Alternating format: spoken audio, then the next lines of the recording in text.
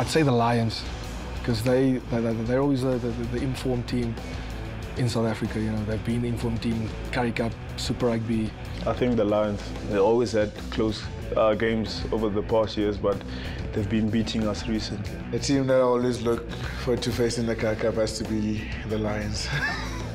you know, because they, they just bring a different intensity to the, to the match.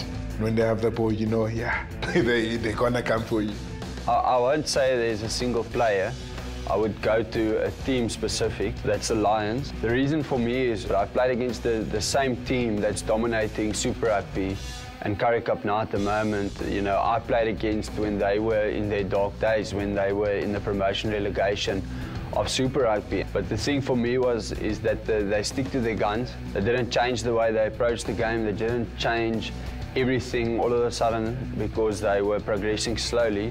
And because of that, they are where they are today.